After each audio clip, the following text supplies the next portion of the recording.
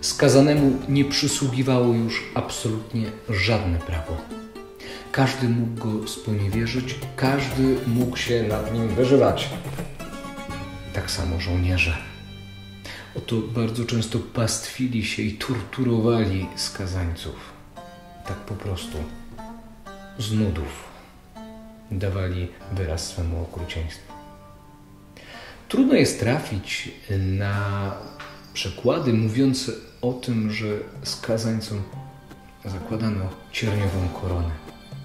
Jednak w tym przypadku, w przypadku Jezusa, żołnierze mogli mieć pretekst, mogli go znaleźć.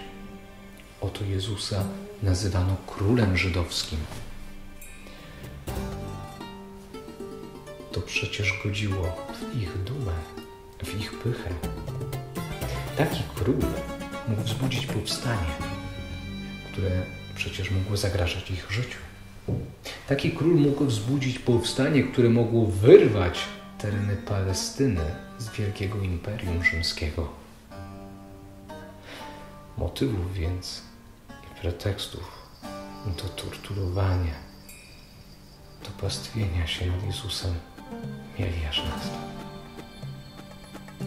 Nie wiemy, czy korona cierpniowa do końca była na głowie Jezusa, również na krzyżu. Możliwe, że spadła gdzieś w czasie krzyżowania albo podczas drogi krzyżowej. Jednak jego rodzina albo uczniowie, chcąc zachować prawo żydowskie, które kazało zmarłego pochować z jego krwią, na pewno starała się zachować koronę cierniową.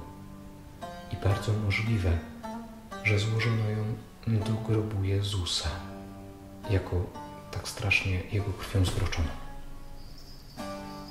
Jakie były dalsze historie i losy korony cierniowej?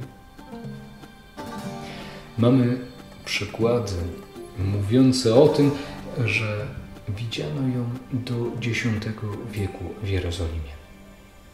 One są dość zbieżne.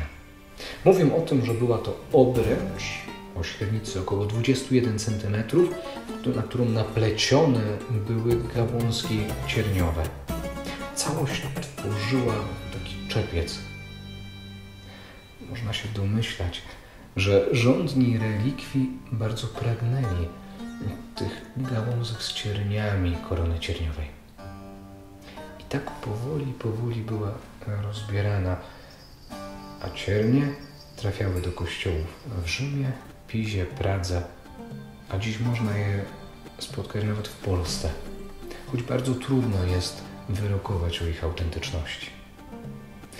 Jednak to, co wydaje się dobrze udokumentowane, to fakt, że obręcz pozostałą przeniesiono w XI wieku do Bizancjum, a w 1239 sprzedano królowi francuskiemu. Ludwik IX kupił ją za niesamowitą cenę 135 tysięcy liwrów. Jakie były jej dalsze losy? W XIX wieku została złożona w Paryżu, w katedrze Notre Dame. W czasie pożaru ostatniego katedry udało się ją uratować, uchronić przed zniszczeniem.